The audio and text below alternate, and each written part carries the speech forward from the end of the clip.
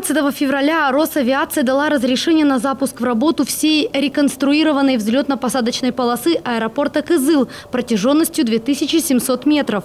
13 февраля первым на обновленную полосу приземлится АТР-42 авиакомпании «Нордстар», прибывший из Красноярска. Для этого функционировала лишь часть обновленной полосы. Напомним, взлетно-посадочная полоса была введена в строй в 70-х годах прошлого века и нуждалась в реконструкции. Инвестиционный проект «Реконструкция аэропортного комплекса Кызыла» реализовалась в рамках федеральной целевой программы «Развитие транспортной системы России», Стоимость проекта более 3 миллиардов рублей.